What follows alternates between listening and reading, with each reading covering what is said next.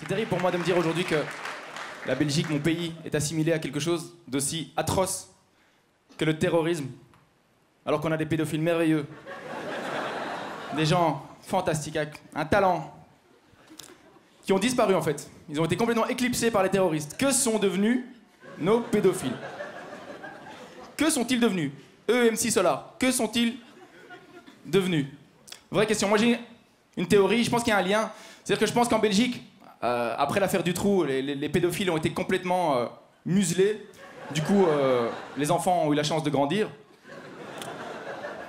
Et ils se sont radicalisés, quoi. C'est vrai. Attention. Je suis pas en train de dire qu'il faut réintroduire un échantillon de pédophiles pour réguler les populations d'enfants. Mais je suis comme tout le monde, je cherche des solutions. C'est peut-être un peu dru, comme manière d'en- d'entrer en matière. Ok, je vais me présenter. Euh, comme ils l'ont dit, je m'appelle Guillermo Guise, mais pour tout vous dire, les amis, euh, Guise, c'est un nom de scène. Moi, en réalité, mon vrai prénom, c'est Guy. Mmh. Guy. Un prénom qui pue le sexe. Entre vieilles personnes. Moi, en Belgique, légalement, je suis obligé de coucher avec des Louisettes, des Monique, des Marthe. Tu as toute l'expérience du monde, mais ça te coûte un bras en lubrifiant. C'est pas facile tous les jours. C'est vrai. T'es un Guy, quoi. Guy. Mes parents, ils ont aucune excuse. C'est long une grossesse, quoi. T'as le temps de voir venir, c'est pas un accident de bagnole, quand même. Choisir un prénom, c'est pas un réflexe, quoi. T'es pas là. Ah, Guy Pardon, c'est arrivé tellement vite. Non, tu t'appelles Guy, tu n'es pas un enfant de l'amour, c'est pas possible. Tu es un enfant de la vengeance. Guy, socialement, pour démarrer dans la vie, c'est l'équivalent d'un bec de lièvre, quoi. Je sais pas si vous comprenez. T'es mal parti, quoi. Guy. Je demandais pas, pas grand chose en plus. Je sais pas, moi, Loïc, euh, Sébastien, vous appelez comment, monsieur? Comment vous appelez? Gérald. Ouais, Gérald, c'est pas un bon exemple, mais. Euh, voilà. Ok. Euh, vous appelez comment? Gilles, ouais, donc on est sur une base de complot en fait. Euh, Ok. Non, très bien. L'association belgo-française des prénoms difficiles euh, en excursion. Mais tu sais quoi, même pas. Gilles, tu sais quoi, je me serais appelé Gilles, j'aurais perdu mon pucelage des années plus tôt. Et peut-être même gratuitement. Prends-y. Là, vous vous demandez, tiens, est-ce que ce garçon a vraiment perdu son pucelage avec une prostituée? Il a un vilain t-shirt et une coupe de Playmobil, mais. Il a quand même l'air propre. Alors, oui, les amis, j'ai perdu mon pucelage avec une prostituée Oui. Comme Michel Petrucciani Oui. Voilà, il y a un clivage qui vient de s'installer dans le public. Les gens qui ont ri, c'est les gens qui ont connu Basile Boli, Patricia Cass. Pour les autres, c'est pas grave, vous avez loupé une bonne vanne, mais théoriquement, vous allez vivre plus longtemps. Donc, euh, quelque part, c'est pas si grave. C'est vrai que j'ai perdu mon pucelage avec une prostituée. C'est pas comme ça que je voyais ce cap évidemment important dans la vie. Mais voilà, j'étais pressé de devenir un homme. On est quand même fin 2012. Et tu vois, il y a un moment où il faut. Il faut y aller quoi. J'y suis allé. Je suis devenu un homme. Mais je m'appelais toujours Guy. Le seul moment de ma vie où ça s'est plutôt bien passé pour moi, c'est quand je vivais en Espagne. J'ai vécu en Espagne. Et là-bas, les filles étaient complètement incapables de prononcer mon prénom. Elles arrivaient chez moi et me faisaient Hola, comment te llamas? Moi, je disais euh, Guy. Elles me disaient Gui Je disais non, pas Gui. Sinon, je t'aurais dit direct Gui, hein. Ah ouais. C'est un contrat social, tu me demandes mon prénom, je te réponds. Et ça vient de là, Guillermo, parce que les Espagnols, bizarrement, ils sont capables de prononcer Guillermo, mais pas juste Guy. C'est pas si étonnant que le pays soit en faillite, quoi, tu vois, il y a un moment où... euh, Et là où les Espagnols étaient encore moins forts, c'est pour prononcer mon nom de famille. Parce qu'en plus d'avoir un prénom qui pue la défaite, moi je m'appelle Guy Verstraten. Essaie de devenir une star avec un nom comme ça. T'imagines l'affiche? Penelope Cruz, Johnny Depp, Guy Verstraten. tu peux pas être sur cette affiche. Tu peux pas être dans la chambre d'un adolescent euh, sur un poste. Tu peux être dans la chambre de ses grands-parents. Sur une ordonnance médicale. Guy Verstraten, urologue. Guy Verstraten, boucherie chevaline. Guy Verstraten. Guy, André, Daniel, Michel Verstraten. Le jour de ma naissance, Dieu, il a chié sur ma carte d'identité. Sérieux. Et il m'a rien laissé, hein. Je suis né un 23 novembre, journée mondiale de la dépression nerveuse. Ça, il fait noir à 14h, 3 degrés dehors, un petit vent de fils de pute qui donne envie de crever. Tu peux être qui tu veux le 23 novembre, tu craques, hein. Le 23 novembre, le Dalai Lama, il est chez sa mère, sous un plaid, avec un pot d'agendas. Il Motus. Elle a sa mère qui lui fait Écoute, Serge Dalai. Tu aurais pu t'appeler Guy, il y a toujours plus malheureux que soi. Guy, 23 novembre, je suis né dans le pire quartier de Belgique en plus. Je suis né à Anderlecht, je sais pas, comment vous décrire, comment vous décrire Anderlecht, c'est là où tu as le siège social de confession intime. Vous voyez C'est à Anderlecht. C'est-à-dire que quand ils viennent à Anderlecht, les ch'tis, ils prennent confiance. Vous voyez un peu Les vrais Anderlechtois, tu les reconnais facilement parce qu'ils ont toujours euh, un maillot de l'équipe locale de Sporting d'Anderlecht euh, sur eux, euh, avec un numéro 21 en général dans le dos en hommage à la trisomie. Vous connaissez vraiment. Non, non. Je sais pas. Sais pas si vous imaginez dans ce genre de commune ce que peuvent donner les tatouages. Anderlecht, ton fils s'appelle Jason, tu mets Jason dans un cœur, le cœur dans un tigre, le tigre sur un dragon, le dragon sur Johnny, et tu niques tout ce qui bouge. Dans les églises d'Anderlecht, Jésus, il a des crocs. Vous croyez qu'on est cool et tout parce que Benoît Poulvord, il vous a fait deux blagues cool. Non, non, non.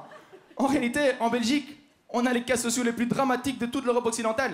Un jour, je suis à la fête de la musique, je me promets que c'est vrai. Je vois une fille ravissante, il y avait beaucoup de monde, je vois une fille vraiment belle.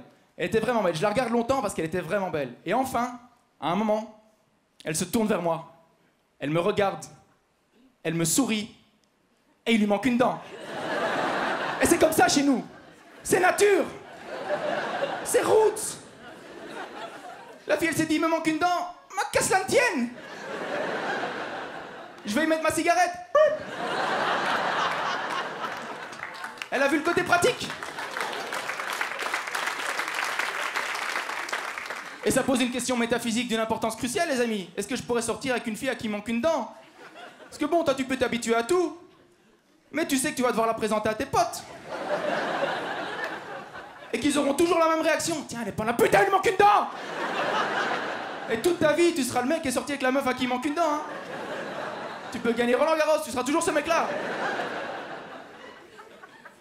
Et moi, je viens de cet environnement, euh, je vous dis, un peu compliqué. Et pourtant, je pense que je m'en suis plutôt pas mal sorti dans la personne que je suis. Je pense que j'ai plutôt un bon fond. Euh, je pense que je suis plutôt quelqu'un de digne. Euh, ouais, j'ai plutôt un bon fond. Je pensais à ça récemment dans le métro à Bruxelles. En face de moi, il y avait un enfant. Vraiment moche. Vraiment moche. Un ratage complet. Pas un œil pour rattraper l'autre. Tchernobyl, sérieux. Eh bien, je lui ai pas dit. Bon fond Merci Ouais Non, sérieux, ses parents étaient à côté, j'avais envie de les gifler, quoi. J'ai envie de leur dire, les gars, si tout le monde se met à faire des bestioles comme ça, dans 200 ans, on est de retour dans l'océan, quoi. Ah ouais, avec des nageoires, des branchies, une queue, enfin. Il y a un enjeu, c'est important l'évolution, faut se serrer les coudes. Je l'ai pas dit. Bon fond. Autre exemple, je prends jamais une place pour handicapé. Jamais. Alors qu'avec mon prénom, théoriquement, il devrait y avoir droit. Mais non, je prends jamais une place. Je prends jamais une place pour handicapé, alors qu'il n'y a jamais un handicapé sur une place pour handicapé. Jamais, jamais, jamais. Pour une raison très simple, c'est que quand tu es handicapé, soit tu conduis pas, soit tu comprends pas que tu peux te garer sur la place pour handicapé. C'est vrai. Non. Sérieux, ces places, tu pourrais les réserver à des elfes ou à des licornes, ce serait pareil. Il n'y aurait jamais personne dessus. Rendez-nous nos places de parking, bande d'égoïstes Après, on parlera de vos rampes d'accès.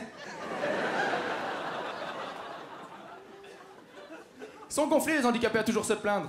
En Belgique, c'est comme en France, il n'y a pas une minorité qui est mieux représentée au sommet de l'État. Chez nous, ils ont un roi, chez vous, ils ont un président. Et ils veulent encore arriver les premiers au magasin. Autre exemple, moi je me drogue plus. Pour d'évidentes euh, raisons financières. En Belgique, on a 53 euros 53 euros le gramme de cocaïne, j'ai vu ça en Belgique. 53 euros. Moi, ça m'a toujours étonné, j'ai pris un peu de drogue dans ma vie, j'ai jamais vu un dealer avec du change. Les toxicomanes ça. Ouais, c'est vrai. c'est vrai. Non, la drogue, c'est comme la prostitution, c'est des métiers à prix rond, quoi. Il n'y a jamais une prostituée qui fait une passe à 42,50€ avec une facture et une souche TVA, quoi. Ça n'existe pas.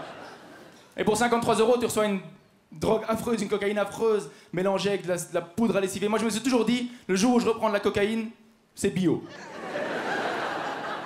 Le jour où quelqu'un viendra me dire, j'ai trouvé un petit producteur paraguayen, José Agustin, qui te fait une cocaïne, mon ami, une merveille, avec que des produits frais. Et cerise sur le gâteau, tous les mercredis, il te fait ton petit panier coke. Avec que des drogues oubliées. Tant qu'il n'y aura plus ça, je prends plus de cocaïne. Parce que la drogue, quelque part, ça me manque. La drogue, s'il n'y avait que des aspects négatifs, personne n'en prendrait naturellement. Même la pire des drogues au monde, comme la drogue du crocodile, je sais pas si ça dit quelque chose à quelqu'un. La drogue du crocodile, non, ça vous dit rien C'est une drogue qui fait fureur euh, en Russie. je vous explique, c'est un mélange de codéine, d'héroïne, d'iode, de phosphore rouge, d'essence et de dissolvant de peinture.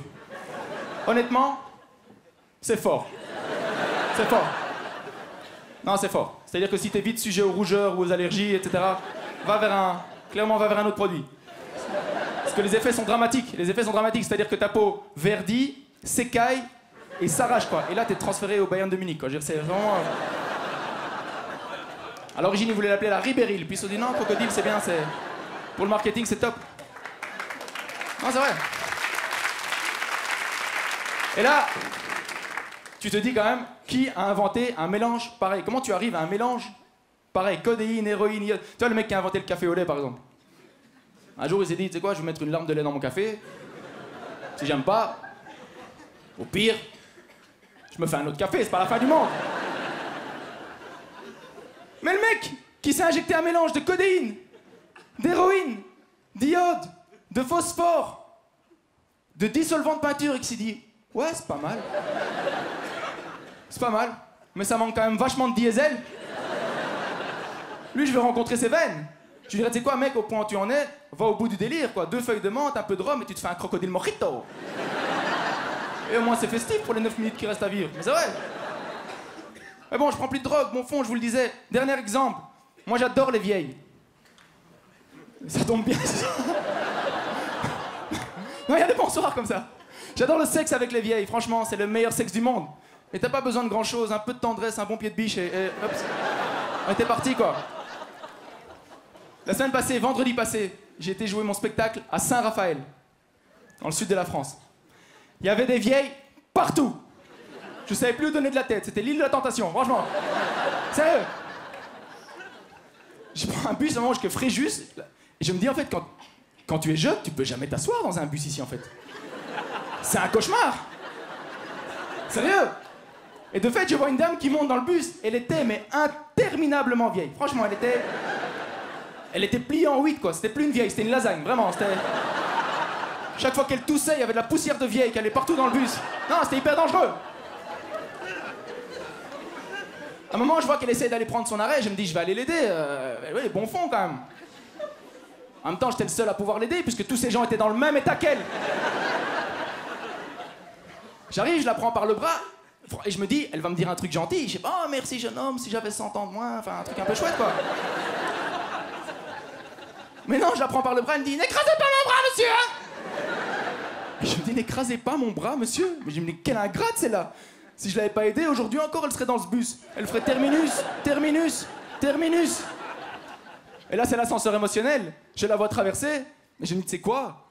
Mais crève Sale vieille Écrasée par une trottinette ou par un gros oiseau. Elle était vraiment vieille. Un pigeon avec un peu d'élan, c'était réglé. Hein. Elle était vraiment vieille. Mais c'est terrible, les amis. C'est terrible de souhaiter la mort de quelqu'un comme ça. C'est terrible. C'est terrible. Surtout là, c'était complètement inutile. Tu sentais que Dieu était sur le dossier. Et t'es là, je termine deux trucs, puis tu débarrasses le plancher. Bon, et en parlant de débarrasser le plancher, moi je vous laisse ici. Merci de m'avoir écouté, les amis. Vous avez été super.